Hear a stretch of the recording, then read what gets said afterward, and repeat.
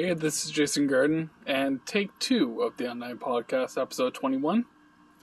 I say take two because I did record this, I got it all chopped up, and had a weird feeling about it. So I sent it to a friend of mine, and she's like, Wow, you sound like a bitch. And I was like, Well, okay.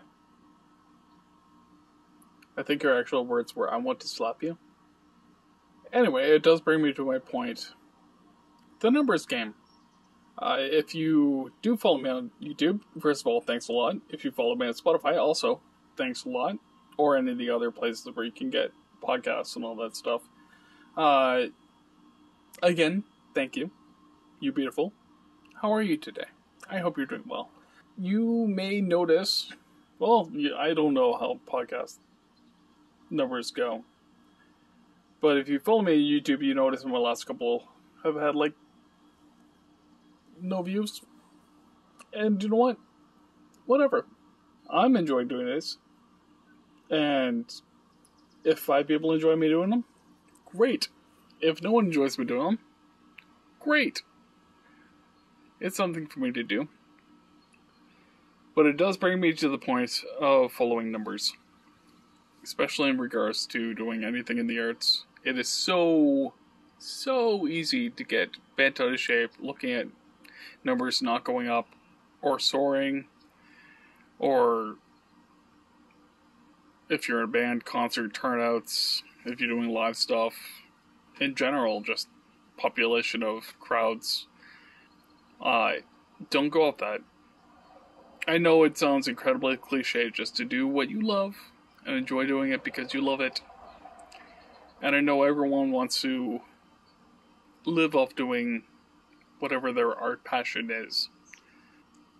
But honestly, people enjoy it if you enjoy it. It is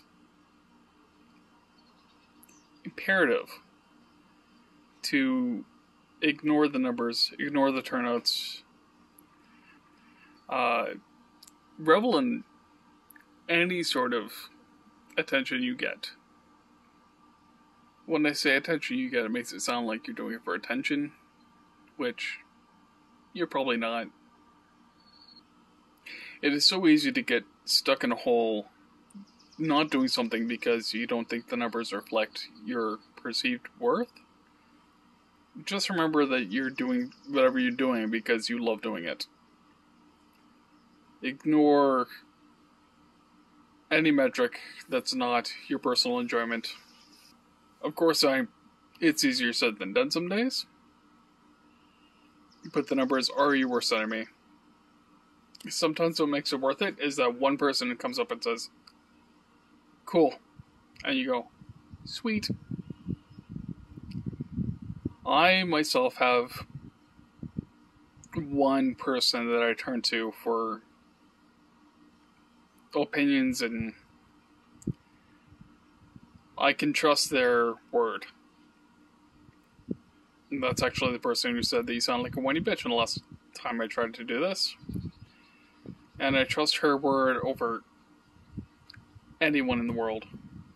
Why? Because. Yeah, I trust her more than anyone in the world. And I will continue to do so. Anyway, I keep getting interrupted for dogs. Excuse me. I keep getting interrupted because dogs keep coming to where I'm going, or where I am. I'm not going anywhere. I'm still on this porch. A little side note. Check out that view. This is what I decided to look at while recording this. Yes, we're still doing construction yes, that's why there's saws and metal things all over the place and collections of wood. It's temporary. Anyway, this has been Jason Garden, the Unnamed Podcast. I love you. Have a great day. Dear Self.